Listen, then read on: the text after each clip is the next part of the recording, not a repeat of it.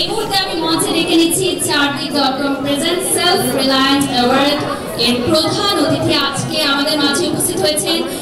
Please মঞ্চে চলে আসবেন, মঞ্চে আমন্ত্রিত আছি আমাদের সম্মানিত doctor Shamsul Alam sir former state minister ministry of planning একটি জোরে করতালি হয়ে যাক।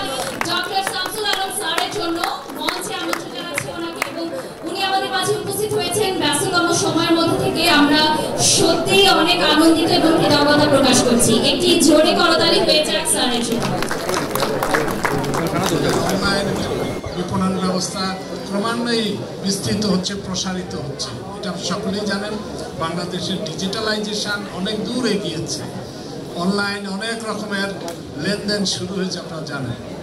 এবং অনলাইন আউটসোর্সিং পেশা বাংলাদেশের একটি অন্যতম পেশা এখন যুবক যুবতীদের। প্রায় সাড়ে ছয় লক্ষ তরুণ তরুণী সারা বাংলায় ছড়িয়ে আছে যারা আউটসোর্সিং করে, প্রায় পাঁচশো মিলিয়ন ইউরো ডলার অর্জন করে।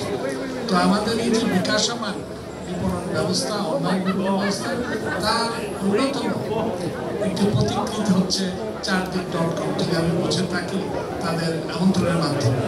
আমি তাদের শুভকামনা করি, তাদের উজ্জ্বল ভবিষ্যৎ কামনা করি, তারা তরুণদের আকৃষ্ট করবেন এবং সফলভাবে মানসম্মত ভোক্তাদের কাছে পৌঁছে দেবেন।